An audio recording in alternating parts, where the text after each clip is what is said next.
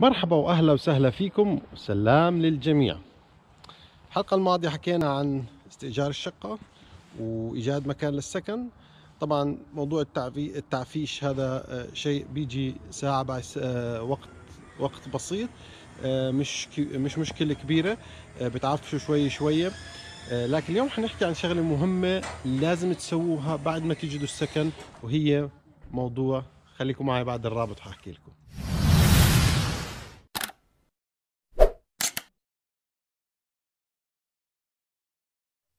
هذا الفيديو برعاية مكتب عمرو لخدمات الهجرة.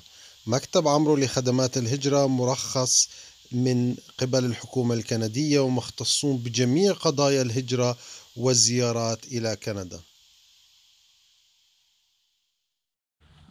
ال SIN number ال SIN number هو عبارة عن رقمك الضريبي اللي موجود في كندا بسموه social insurance number هذا ال social insurance number مهم جدا إنك تعرفه راح يعطي لكم بطاقة بيضاء حط لكم صورة لها هون. لكن ال SIN number مهم جدا إنك تعمله أول ما تيجي بتروح على منطقة ممكن تسويه بطريقتين. ممكن آه، تروح كشخص أنت وزوجتك وكل طفل آه، معك عمره أكبر من 18 عشان يوقع على ال form أو ممكن تسويه عن طريق البريد.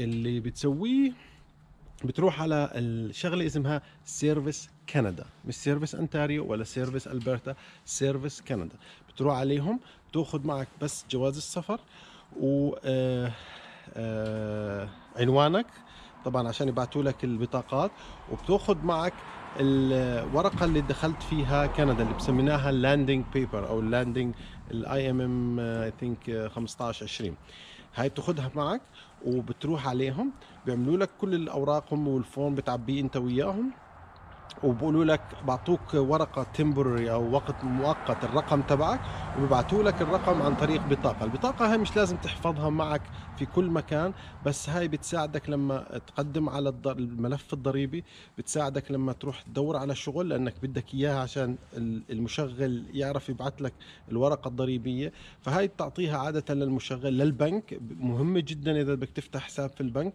عشان تقدر تربطها بحسابك الضريبي. فهذه الخطوة الثانية والمهمة بعد استئجار البيت إنك تروح تعمل SIN number طبعا هون بدي أركز على شغلة إنه هذا ال SIN number لازم يضله secret معك.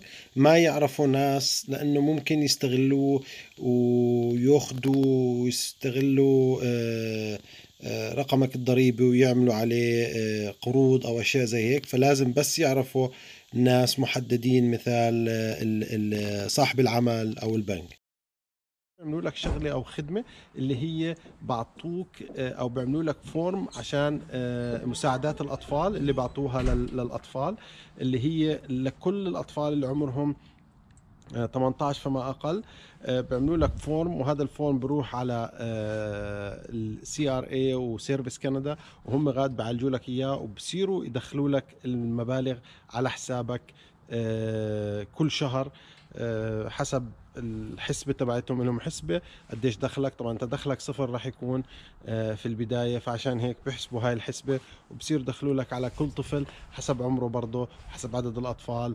آه، فهاي الشغلة مهمة جدا اللي هو ال SIN number وال social insurance number والأطفال. آه، نراكم في حلقة ثانية. وسلام. السلام عليكم. لا تنسوا الإعجاب بالفيديو والاشتراك في القناة. تشجيعا لنا لنستمر بنشر المزيد إن شاء الله. من فضلك فعل الجرس ليصلك كل